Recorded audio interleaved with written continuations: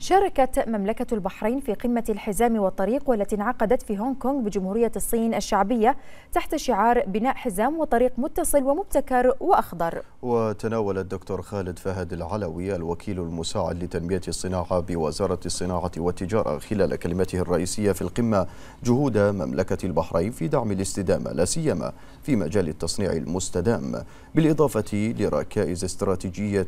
قطاع الصناعة 2022 2022 2026 الداعمة لتحول القطاع الصناعي للثورة الصناعية الرابعة ولنشر مفاهيم الاقتصاد الدائري للكربون والحوكمة البيئية والاجتماعية والتي تصب في دعم جهود المملكة لتحقيق الحياد الكربوني بحلول العام 2060